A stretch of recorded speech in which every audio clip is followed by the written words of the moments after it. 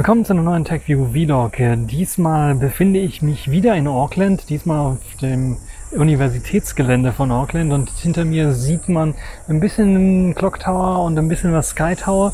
Clock Tower von der Universität selber und Sky Tower eben äh, von ähm, der Stadt selber. Und äh, diesmal soll es um den äh, Pro-Modus des Sony Xperia 1 gehen. Pro-Modus? Ne, eigentlich der manuelle Modus der Kamera. Denn ich habe mir gedacht, wenn ich schon so eine gute Triple 12 Megapixel Kamera habe, kann ich die nicht auch für Street Photography benutzen. Also für ganz normal hier Schnappschüsse schießen. Das funktioniert. Das geht. Und ich will euch zeigen, wie. Ganz genau. Schauen wir uns also die Kamera-App ein bisschen genauer an. Zunächst einmal gehe ich in äh, Modus hinein und aktiviere den manuellen Modus. Und hier sehen wir jetzt auch meine Einstellungen, die ich vorgenommen habe.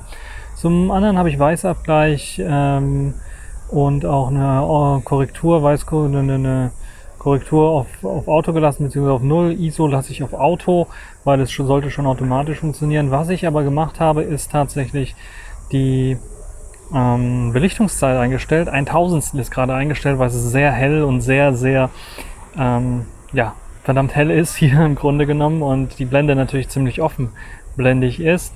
Manueller Fokus habe ich eingestellt, damit ich tatsächlich auch Schnappschüsse schießen kann, ohne dass mir das Ganze um die Ohren fliegt. Hier kann ich die Sache einstellen. Ein Tausendstel ist, glaube ich, vom, vom Gefühl her gut. Ansonsten kann ich hier nochmal auf Fokus gehen und habe den Fokus jetzt auf diese Stufe hier gestellt, die von Erfahrungswerten her mir bisher die besten Fotos so äh, bringt, was eben auch die Qualität angeht. Das heißt, was eben auch ähm, alles in scharf angeht. Das heißt, die, die schiefen, Terfe, schiefen äh, Tiefe ist auf jeden Fall da. Und das ist eben das Wichtigste. Ansonsten müsst ihr mit dem Regler rumspielen, je nachdem, was ihr denn so meint. Aber da eben das alles so kleine Sensoren sind, ist, glaube ich, meistens alles scharf, wenn ihr das genauso einstellt, wie ich es hier jetzt gemacht habe. Von ja bis zu, hm, sagen wir mal, äh, halben Meter äh, bis zum Rest ist im Grunde genommen fast alles im Fokus, wenn man diese Einstellungen ähm, tätigt. Und dann kann man eigentlich auch schon losgehen und Fotos schießen.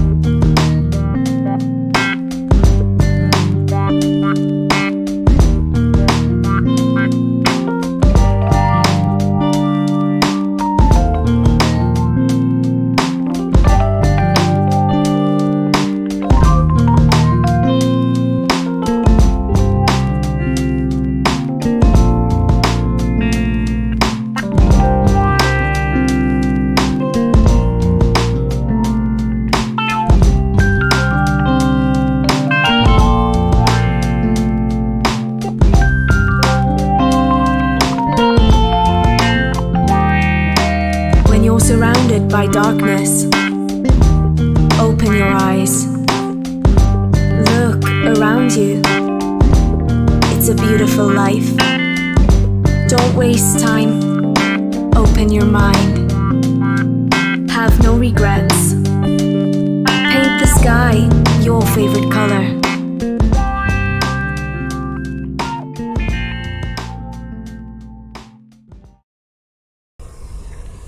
Und das Coole an der ganzen Geschichte, ich kann diesen Shutter-Button hier oben benutzen. Und wenn ich den halb durchdrücke, passiert im Grunde genommen, außer dass das Interface verschwindet, nichts. Das heißt, er fokussiert auch nicht. Es wird also kein Autofokus-Hunting oder sowas geben, sondern er nimmt, und gerade weil eben auch die Geschwindigkeit bei 1000 ziemlich schnell ist, sehr schnell gute Fotos auf.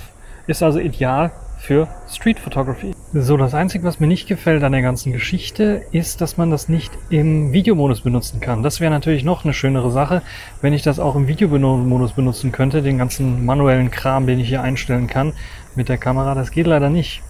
Äh, da muss ich also Abstriche machen, was das angeht. Und ich würde mir wünschen, dass die Camera Pro App auch für das Xperia 1 kommen könnte, damit ich halt noch ein paar andere Sachen einstellen könnte, wie beispielsweise die Möglichkeit, eben auch manuell fokussieren zu können, wenn ich im manuellen Fokusmodus bin, indem ich einfach auf den Screen tippe und dann einfach eben fokussieren könnte. Das wäre eine tolle Sache. Ähm, Camera Pro App sollte so etwas vielleicht mitbringen, weil das wäre auch so ein Snap-Fokus wäre vielleicht auch nicht schlecht für Street Photography. Aber ja, ansonsten ist das, glaube ich, eine gute Kamera-App. Was haltet ihr von der ganzen Kamera-App? Schreibt es mir in die Kommentare. Und äh, falls ihr noch Tipps und Tricks habt, könnt ihr das natürlich auch hinterlassen. Das war's für diesen kleinen Vlog und bis zum nächsten Mal. Ciao.